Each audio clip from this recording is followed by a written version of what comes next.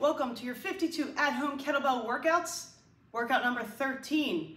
This is an EMOM, it's simple. You're gonna do 10 reverse lunges on your left leg.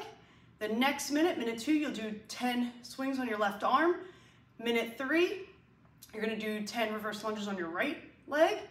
Minute four, 10 swings with your right arm. You'll continue that for about 24 to 48, 24 to 28 minutes or however long you'd like the session to last, repeating through those four movements.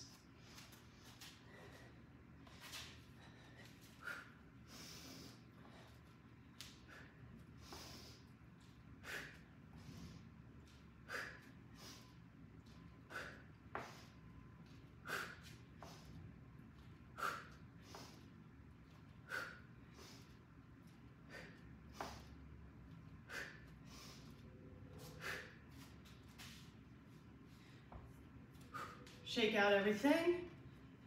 Catch your breath, rest for that rest of that first minute. And then timer goes off. Repeat by swinging 10 swings on that left side.